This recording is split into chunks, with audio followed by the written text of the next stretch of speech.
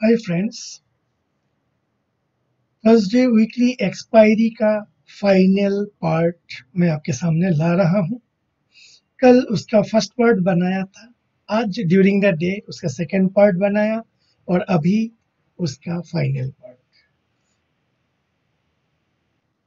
आज सुबह का जो एनालिसिस हमने किया था वहाँ पे हमने आइडेंटिफाई किया था 18,650 on the higher side and 15 uh, 18,500 on the lower side उसके बीच में ही आपका एक्सपायरी होना चाहिए। और आप अगर 16,650 का कॉल या उसके ऊपर का कॉल सेल करते हो एंड 16,000 18,650 का कॉल या उसके ऊपर का कॉल सेल करते हो और 18,500 का पुट और या इसका नीचे का पुट शॉर्ट करते हो एंड एक्सपायरी उसी रेंज के अंदर में होता है तो आपको एक one percent of your capital मिलने का हायर प्रोबेबिलिटी ये हमारा एनालिसिस था। अभी टाइम है आपका तीन बज के छः मिनट ऑलमोस्ट मार्केट क्लोज देने वाला है। सो so, हमने जो एंटिसिपेट किया था कि थर्सडे एक्सपायरी में निफ्टी इस रेंज के अंदर में क्लोज देगा। तो उस एंटिसिपेशन सही गया। जब जब एंटिसिपेशन सही जाएगा वी विल बी रिवार्डेड तो वही रिवार्ड का जो एक जस्ट ऑब्जर्वेशन तो यहाँ पे देखो मैंने थोड़ी देर पहले जस्ट दो मिनट पहले ही मैंने पोजीशन को क्लोज कर दिया। और यहाँ पे आपको 11,860 का नेट पीएनएल है। आप बोलोगे एक डेज़ एमटीएम एक पीएनएल तो ये कुछ पोजीशन मैंने कल ओपन कल इनिशिएट किया था। तो बिकॉज़ ऑफ़ विच मेरा कल का पोजीशन और आज का पोजीशन मिला के ये 11,860 है। और सिर्फ़ आज का अगर पोजीशन देखेंगे आज के सिंस मॉर्निंग 9:15 से मेरा 13,600 का एक पीएनएल है। So I will be considering 11,860 as my PNL out of the all the positions so ये जो अकाउंट है this is the trade Jini account T A one zero seven five वहाँ पे ग्यारह हज़ार आठ सौ साठ रुपया मेरे को मिला है। एंड ड्यूरिंग वो मॉर्निंग वाला वीडियो बनाने के बाद मैंने ड्यूरिंग द सेकेंड हाफ़ में मैंने कुछ पोजीशन इनिशिएट किया, जहाँ पे मेरा जो आज का पीएनएल है 6055 है। ये होल्डिंग वाला पोजीशन इसमें अब मत देखिए ये वाला, जो मेरा ऑलरेडी कैश पोजीशंस कुछ है, जो अगेंस्ट में है and I am running that one ये वाला जो है, आज का ट्रेडिंग प्रॉफिट है six thousand thirty five fifty five so six thousand and 11,800 so so 17,900 का मेरा ओवरऑल प्रॉफिट हुआ है। क्या क्या ट्रेड था? आप अगर देखोगे वही 18,550 का पुट शॉर्ट किया था एंड 18,650 का कॉल को शॉर्ट किया था। एंड टुगेदर इस कंपोजिशन में मेरे को छः हज़ार पचपन रुपये का प्रॉफिट मिला। और जो पहले से मेरा ये था तो करीब ऑलमोस्ट 18,000 ही आप पकड़ लो 17,900 जो है। आउट ऑफ़ माई पंद्रह लाख का so seventeen thousand nine hundred divided by पंद्रह लाख होता है वन पॉइंट वन नाइन यानी मेरा जो टारगेट था वन परसेंट पर एक्सपायरी का वो मेरे को मिल चुका है। अभी हम देखते हैं अपना जो एनालिसिस था बैंक निफ्टी में, उसका क्या गया। बैंक निफ्टी में हालाँकि मैंने ट्रेड नहीं किया था। बैंक निफ्टी का ओपन इंटरेस्ट के बाद हमने ये डिसाइड किया था कॉल शॉर्ट नहीं करेंगे वेदर पुट शॉर्ट करेंगे। डेट इज़ व्हाट मॉर्निंग का जो वीकली एक्सपायरी का वीडियो मैंने बनाया, उसमें हमने यही डिसाइड किया था कि हमें आपका एटीन थाउज़ेंड ये तो हो गया आपका निफ्टी का। बैंक निफ्टी का ले लेते हैं।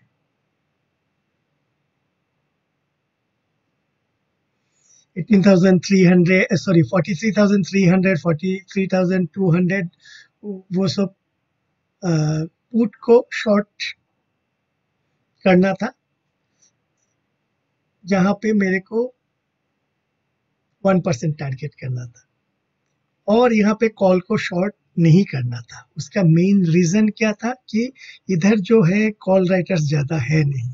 तो जैसे ही आप 500 का ऊपर 43500 के ऊपर वी में expect some zoom up that is what हमारा जो एनालिसिस था। इसके हाई के ऊपर एक शार्प मूव और वही हुआ है 500 से 43,522 के बाद ये forty three thousand five hundred and ninety तक गया है। सो so, यहाँ पे हमारा एनालिसिस कॉल को शॉर्ट नहीं करना था पुट को शॉर्ट करना था। अगर यहाँ पर भी करते तो यहाँ पर भी आपको एक वन परसेंट डेफिनेटली मिलता। नाउ ये कोई इजी चीज़ भी नहीं है और ये कोई डिफ़िकल्ट एनालिसिस भी नहीं है। आपको सिर्फ़ एक्सपर्टीज लाना है, किस रेंज में आपका ये क्लोजिंग दे सकता है। पहला वाला। दूसरा वाला क्या ये इस एक सर्टेन लेवल के नीचे जाएगा नहीं या क्या एक सर्टेन लेवल के ऊपर जाएगा नहीं? या नीचे नहीं जाएगा लेकिन ऊपर जा सकता है। यहाँ पे ये वाला क्या था? नीचे नहीं जाएगा बोल के वी आर ऑलमोस्ट सर्टेन लेकिन ये 18,000 सॉरी 43,500 के ऊपर भी जा सकता है। डेट इज़ वाई हमने यहाँ पे कॉल शॉर्ट नहीं करेंगे। वो हमने मॉर्निंग वाला वीडियो पे डिस्कस किया था। ये जो आइडियाज़ है कब क्या करना है कब क्या नहीं करना है आप अगर स्ट्रेट फॉरवर्ड अगर स्ट्रेंगल शॉर्ट कर देते 43,500 या 600 का तो कॉल को शॉर्ट करने से अभी आपका लॉस प्रोपोजिशन हो जाता। है आप अगर 43 200 100 या 43 300 हालाँकि 43 300 थोड़ा सा अवॉइड करने के लिए बोला था क्योंकि वो एट द मनी जो उस टाइम पे 43,400 था उसके नज़दीक ही था। So forty three three hundred को अवॉइड करने के लिए मैंने बताया था एंड 200 एंड 100 में आराम से हमको वन परसेंट मिल जाता। सो so, यहाँ पे आपको सिर्फ़ एक रेंज ही नहीं पकड़ना है आपको इसका मूड भी पकड़ना है। क्या ये ऊपर की तरफ़ जा सकता है या क्या ये नीचे की तरफ़ जा सकता है या क्या ये साइडवेज जा सकता है? इस एक जैसे फोर्टी थ्री थ्री हंड्रेड के नीचे जाना नहीं चाहिए था। सो so, हमने पुट को शॉर्ट करने के लिए डिसाइड किया। लेकिन फोर्टी थ्री फाइव हंड्रेड के ऊपर जा सकता है प्राइस तो हमने कॉल को शॉर्ट ना करने का एक डिसीज़न लिया था। इसी एनालिसिस को आपको एक्सपर्टीज करना है। एक लेवल उसके नीचे नहीं जाना है या एक लेवल उसके ऊपर नहीं जाना है या दोनों लेवल प्रोटेक्ट करेगा। या एक साइड प्रोटेक्ट कर सकता है और दूसरे साइड प्रोटेक्ट नहीं कर सकता है उसको भी आपको आप एनालाइज कर सकते थे। हाँ यहाँ पे एक है आपका इंडिया फिक्स इंडिया फिक्स अभी है 43 13.44 मेरे यहाँ पे ज़ीरो में भी एक अकाउंट है जहाँ पे मैंने आज कुछ किया नहीं। बेसिकली इसको मैं करेंसी पोजीशंस के लिए करता हूँ। आज मैंने कुछ यहाँ पे किया नहीं है। सो so, 13.43 आपका इंडिया फिक्स है। ये जो स्ट्रेटेजी है इसमें आपको इंडिया फिक्स लो रहने से आपके लिए मज़े ही मज़े है।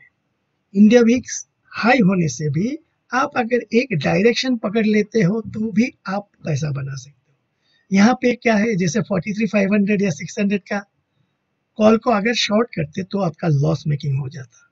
तो उसके लिए आपको open interest VIX India VIX and price action का एक कॉम्बिनेशन बनाना चाहिए।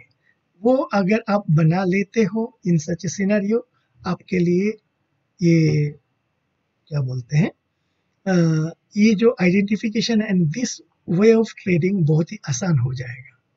So weekly Thursday weekly Nifty and Bank Nifty मैं कैसे अप्रोच करता हूँ? How I am targeting one percent वो मैंने लाइव अकाउंट में आपको दिखा दिया। यहाँ पर भी आप देख लो। सो so, ये जो प्रयास है इस प्रयास के थ्रू से मैं ये दिखाना चाहता हूँ आप इस तरीके से भी वन वन परसेंट टारगेट करके भी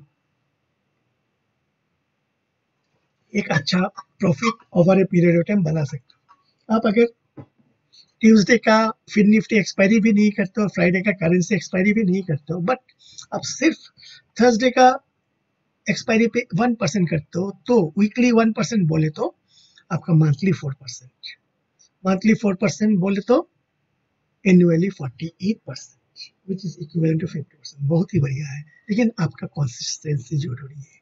आपका माइंडसेट जो है, एक शांत होना चाहिए, ठंडा होना चाहिए कूल एंड काम होना चाहिए डिसिप्लिन होना चाहिए, कोई भी मीन्स सरप्राइज़ बाई सेल नहीं करना चाहिए। आपके रेंज में आएगा तभी उसको ट्रेड करना चाहिए। ऑल दिस थिंग्स आपको ऑब्ज़र्व करना है। Over a regular period over a period of time आप अगर इस एनालिसिस को आपके ट्रेडिंग स्टाइल बनाते हो तो आप भी धीरे धीरे वन परसेंट पर एक्सपायरी अगर तीनों करते हो तो तीनों का एक्सपायरी तीन परसेंट पर वीक बोले तो बारह परसेंट पर मंथ बोले तो one fifty percent one forty four बोले तो रफली one fifty percent per annum बहुत ही बड़ा है लेकिन उसमें हमें डिसिप्लिन चाहिए कंसिस्टेंसी चाहिए एंड रेगुलरिटी चाहिए।